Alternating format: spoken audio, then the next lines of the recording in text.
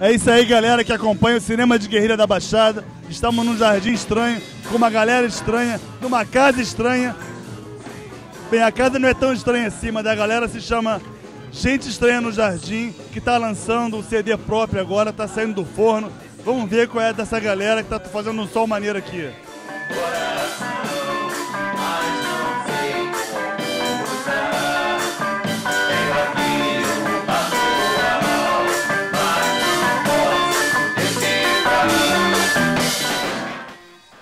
Como é que então foi, surgiu a banda Gente Estranha no Jardim?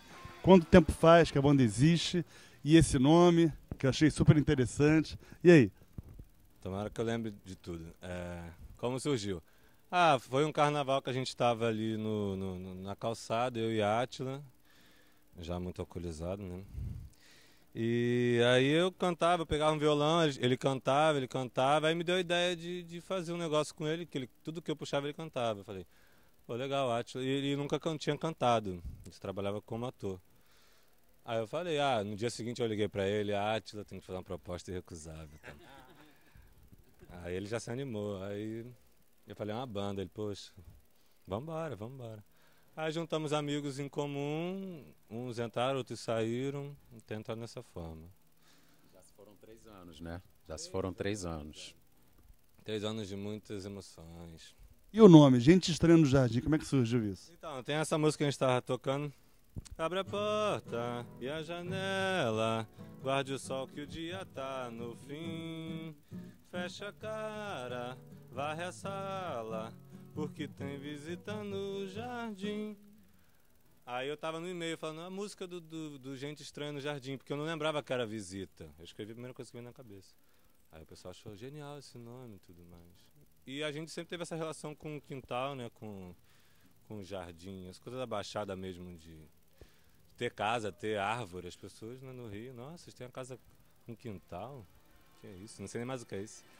Aí a gente incorporou isso no som, também enquanto jardim de, de muitas possibilidades de, de, de influências.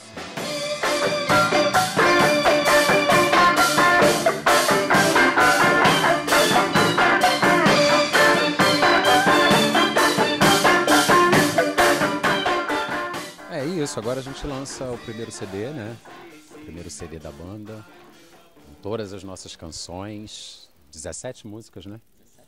17 músicas e uma expectativa, cara, continuar jogando todo o material que a gente tem na rede, na internet e com isso a gente alcançando mais, né? Mais e mais. Esse é o planejamento. E são composições próprias? Sim, sim. A maioria do Maurício, tem do John, tem do Léo, tem do Adonis, tem música de todo mundo. Todo mundo escreve trabalho.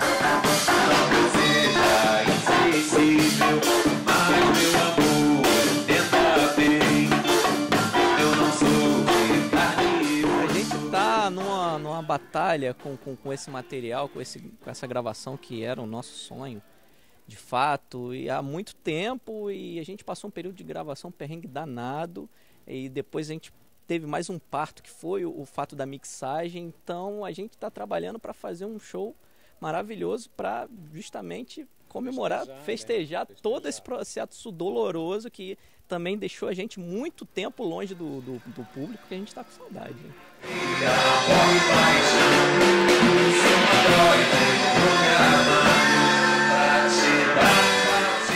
É, acho que tem essa coisa de, do, de uma galera ansiosa, tão ansiosa quanto a gente por esse material, uma galera que nesse, nesses três anos da banda que já está em torno, amigos, amigos de amigos, e essa ansiosidade, né? Que foi, foi um, um, período de, como, como, como o Rodrigo falou, doloroso, mas ao mesmo tempo também prazeroso.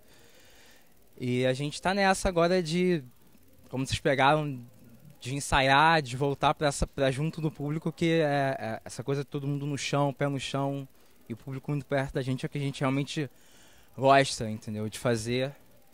E acho que vai ser ótimo esse show agora. Vamos nos doar 100% como sempre, né? Sensacional. Fala um pouquinho agora da banda que vai tocar com vocês agora lá no show também.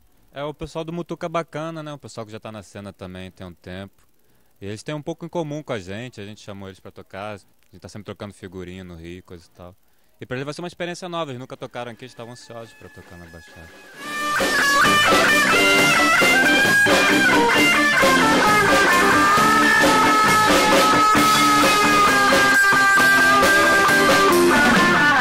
Como a gente está falando, é uma grande festa, então a gente, a intenção foi chamar toda essa turma aí que faz, faz música, faz arte, principalmente daqui da Baixada, para estar com a gente. Então tem o pessoal da Mutuca, que é lá do Rio, tem o Diego Bion, que é o DJ preferido da gente aí, que está sempre com a gente, pessoal do Cineclube Buraco do Getúlio, tem vocês, né?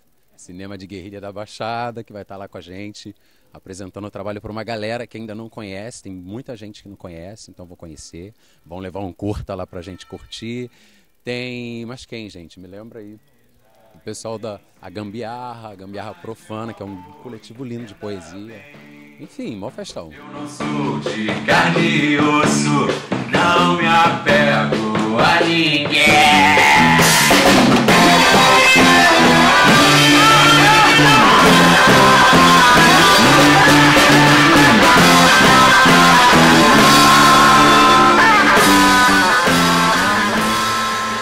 Convoca toda a galera estranha da Baixada, do Rio de Janeiro, do Brasil inteiro, para acessarem o site de vocês e acompanharem o trabalho de vocês e irem ao show.